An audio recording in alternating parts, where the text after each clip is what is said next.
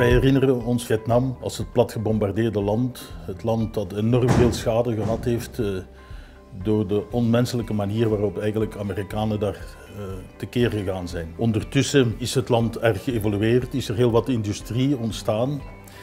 En uh, zijn er ook internationale samenwerkingen geweest, is er internationaal kapitaal gekomen.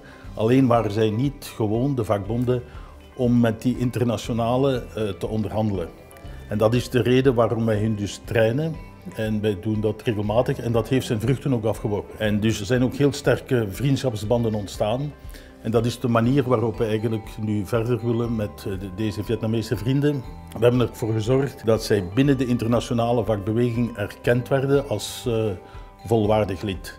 En dus dat is de manier waarop wij verder met onze broeders willen samenwerken.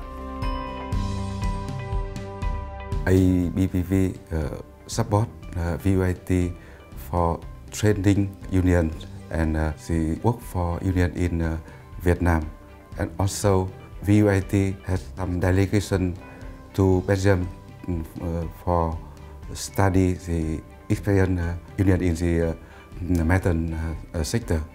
The reason for developing uh, the relationship between the two union uh, give us the opportunity to learn experience from ABVV Marathon because Vietnam now uh, integrated more and more the market economy.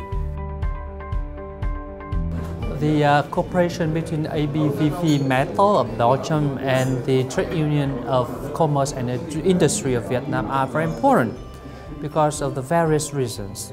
Number one, because they have a lot of activities together, for instance, sharing of experience or helping each other in the area of training.